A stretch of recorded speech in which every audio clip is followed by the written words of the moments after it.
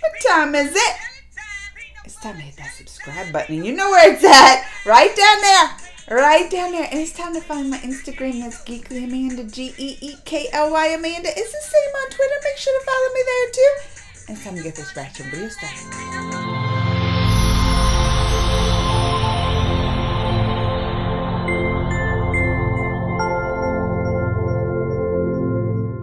I love the Monsters Inc. I have always loved the Monsters Inc. And they're having a new little series. What is it? Monsters at Work. That's coming into Disney Plus teaser trailer. I'm excited for this.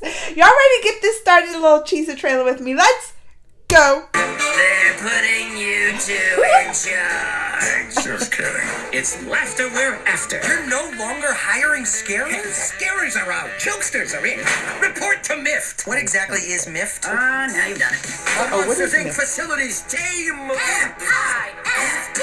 If a machine needs maintenance, we maintain it. Now.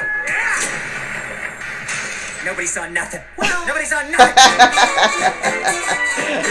July 2nd. That's going to be super cute. I can't wait.